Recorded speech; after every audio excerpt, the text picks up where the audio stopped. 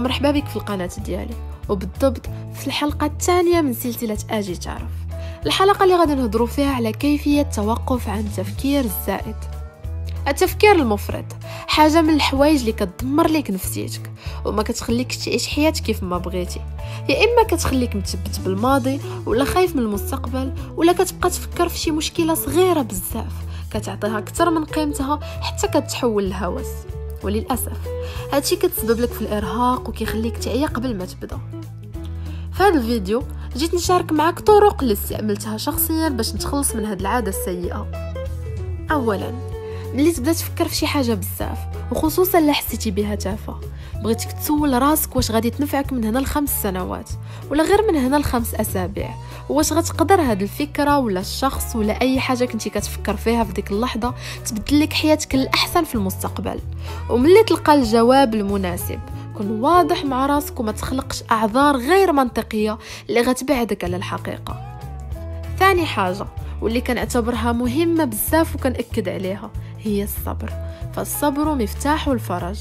ولا كنتي من الناس اللي ما كيصبروش وكيبغيو أي حاجة تجي ديك الساعة 90% ما غتكملش وغتوقف في نص الطريق. ثالث حاجة واللي هي أهم اللي قبل منها كاملين هي الإيمان بالقضاء والقدر. دير السبب ولكن خلي الكمال على الله.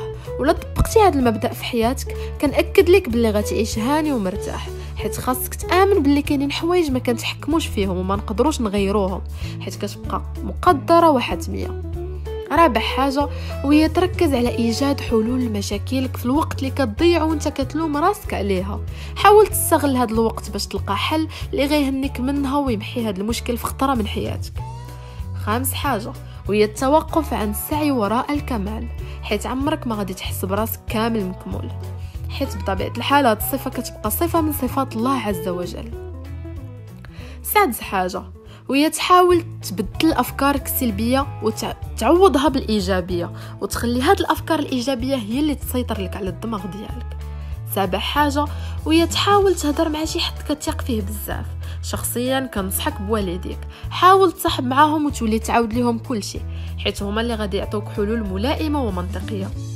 النصيحة رقم 8 وهي تعمر وقتك. مثلا تفوق في الدراسة ولا تمارس شي هواية ولا, ولا الرياضة. المهم ما تخليش وقتك خاوي. النصيحة رقم 9 هي المطالعة ولا القراءة. حاول تعود دماغك على الاستمتاع بقراءة الكتب. هكذا غيولي دماغك عامر بحوايج مهمة وما غتخليش ليه الفرصة يركز على التفاهات. النصيحة العاشرة هي الكتابة. لكن انت من الناس اللي ما كيبغيوش يعاودوا بزاف مشاكلهم كنصحك تولي تكتب كاع داكشي اللي مأزمك ومرضك في حياتك. كتب كل شيء أي حاجة كتحس بها وفي الآخر حرق دوك الوراق ثق بيا من بعد غادي تحس بتحسن كبير بزاف. النصيحة الأخيرة واللي ختمت بها الفيديو باش تبقى دايرها في بالك واللي كنعتبرها أهم وحدة فيهم كاملين.